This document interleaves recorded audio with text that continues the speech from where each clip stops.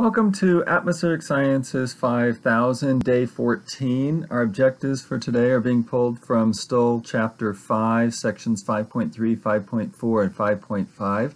And the summary of today's activities is we're going to be playing around with and uh, trying to learn how to use the skew-T diagram to make some uh, initial measurements of water vapor mixing ratio, the saturation water vapor mixing ratio, the relative humidity, the wet bulb temperature, the potential temperature, the equivalent potential temperature, and then we'll also use the skew-T diagram to figure out the lifting condensation level, the level of free convection, and the equilibrium level.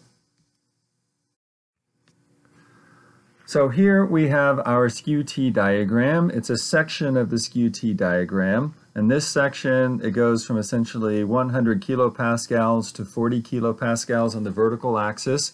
And then we have two different axes kind of labeled at the bottom. We have temperature ranging from minus 20 degrees Celsius to positive 30 degrees Celsius. And then we have the mixing ratio in grams per kilogram ranging from 1 to 20 uh, grams per kilogram. And to find the mixing ratio, W, or in terms of the Stull textbook, R, we basically need to have two pieces of information. Um, we need to know the pressure and we need to know the dew point temperature.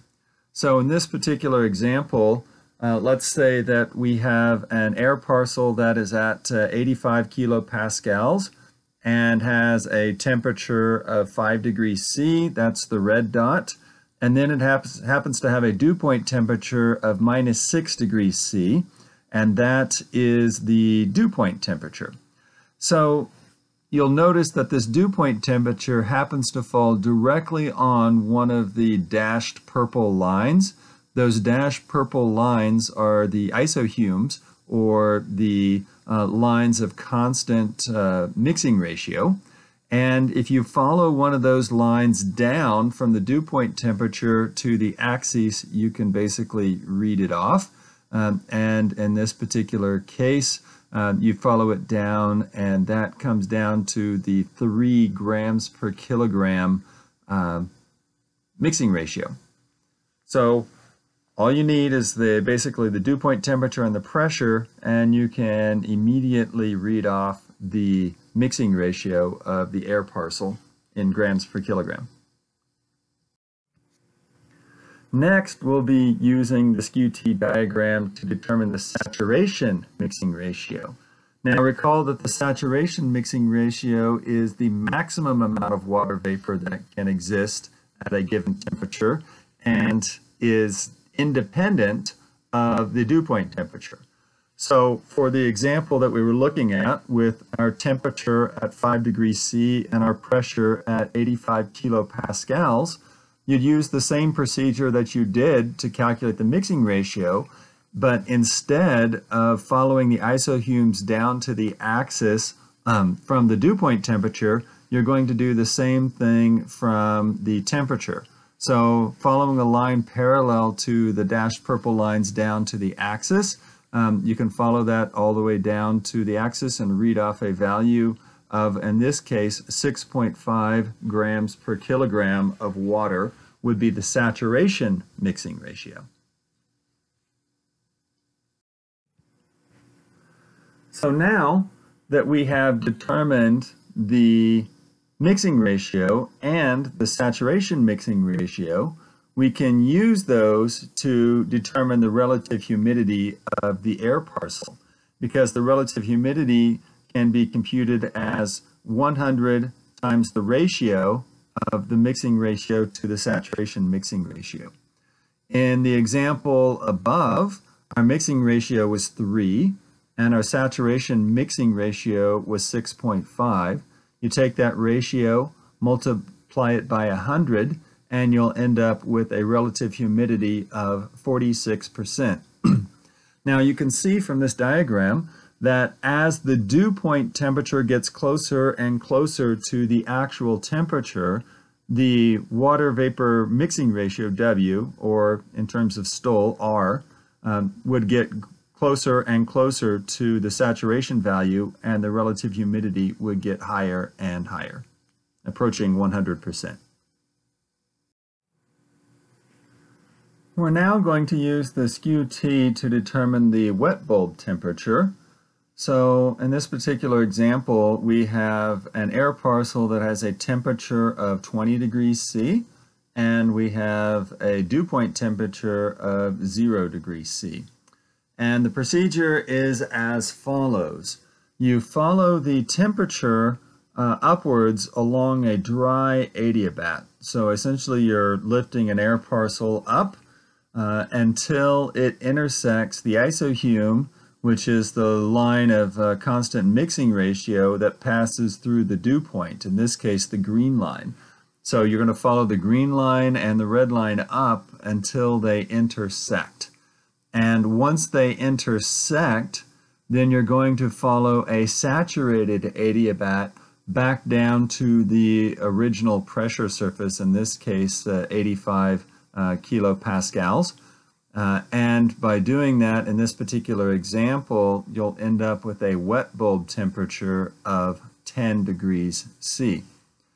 And once again, you can see that the wet bulb temperature is a measure of um, the humidity of the atmosphere because as the dew point temperature gets closer to the actual temperature, um, the wet bulb temperature is also going to get closer to the actual temperature as well. And when the relative humidity is equal to 100%, the temperature is going to be equal to the dew point temperature, which is also going to be equal to the wet bulb temperature at a relative humidity of 100%.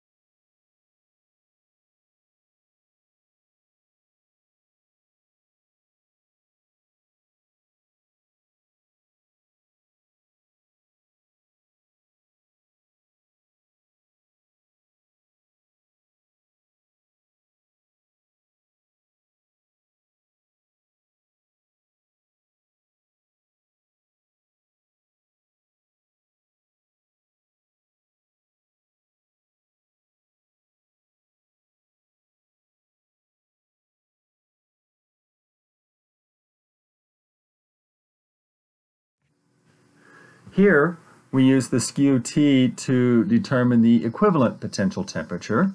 So we start off with an air parcel that has a temperature, in this case, of 10 degrees C and a dew point temperature of minus 8 degrees C.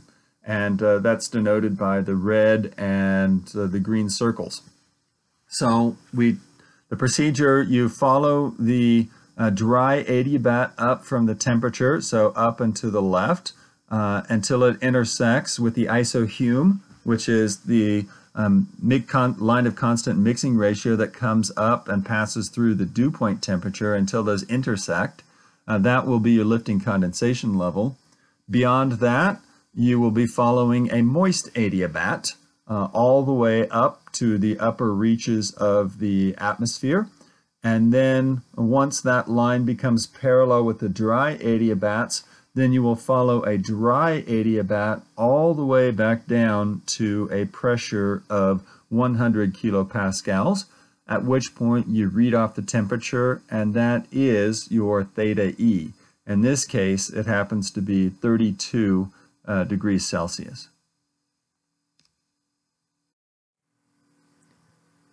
Here we're going to use the skew-T diagram to determine the lifting condensation level, which is essentially the cloud base for an air parcel that's lifted from the surface. So in this example, we're starting off with an air parcel with a temperature of 9 degrees C and a dew point of 0 degrees C.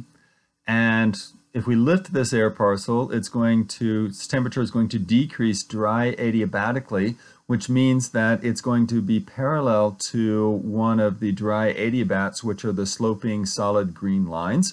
And so we'll follow that up until it intersects the isohume, which is the line of constant uh, mixing ratio that passes through the dew point.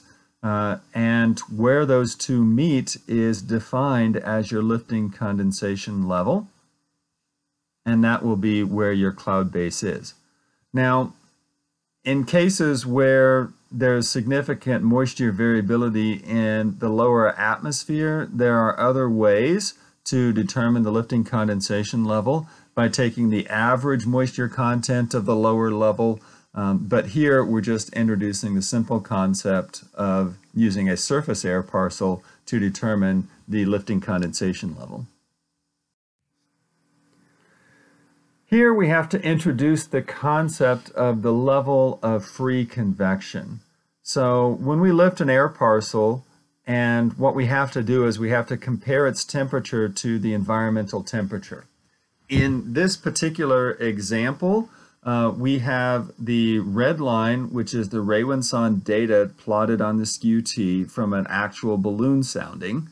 And the solid green the fluorescent green line is the dew point temperature uh, measured from the sounding as well. And superimposed upon that, we have our air parcel, which is basically um, the blue lines.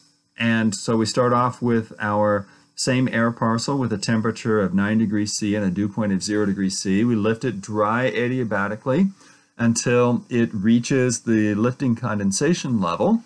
And above the lifting condensation level, the air parcel will change temperature at the saturated adiabatic lapse rate, which is the dashed green line. It will follow that dashed green line up.